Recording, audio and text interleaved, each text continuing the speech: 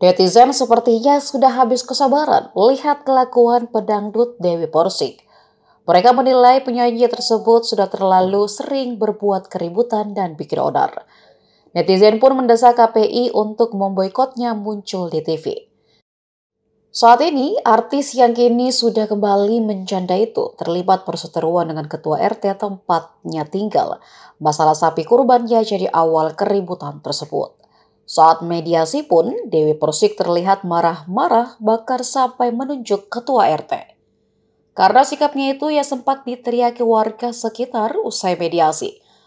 Melihat tingkah Dewi Persik inilah tak sedikit netizen yang mengaku kecewa.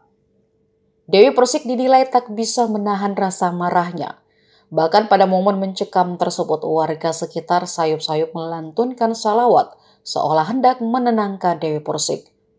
Dilansir dari Instagram @lambe underscore dado, video saat mediasi Dewi Persik dan Ketua RT dibagikan ulang dengan keterangan agar artis tersebut diboykot. Rupanya keterangan pada video tersebut justru mendapat respon dari warganet. Tak sedikit yang setuju KPI memboikot Dewi Persik dengan alasan kerap membuat masalah.